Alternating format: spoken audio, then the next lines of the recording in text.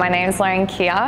Um, I play for Canberra United in the A-League Women's competition. She does just that, looking for Haim, and it's an awkward one, it's across the line! They've come back again, and it's Lauren Keir with the final touch.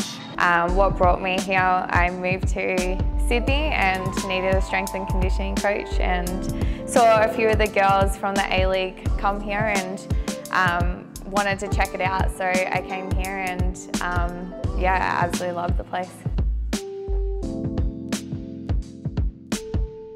When I first came to Athletes Authority, I knew this was the place for me. Um, the culture here is unbelievable. Everyone gets behind each other and it's so nice to be in a place where you have that support and um, coming from a pro professional environment with Canberra, I know that um, with the support like from them, I'm able to get back onto the pitch soon.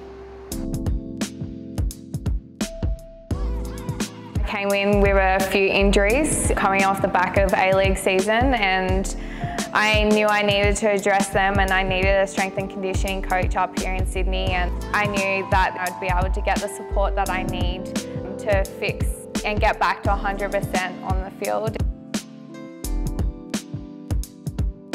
So my first field session with Brendo, um, I absolutely loved it. I was kind of mind blown with how much knowledge that he had in regards to running technique and everything and I knew there was a few things that I needed to fix up to get a little bit faster off the mark and a little bit um, more sharper.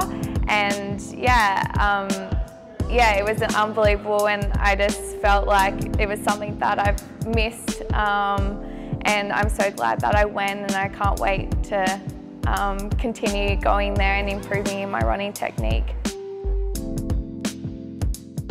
I definitely feel like I've seen improvements in my body and some of the weaknesses that I had.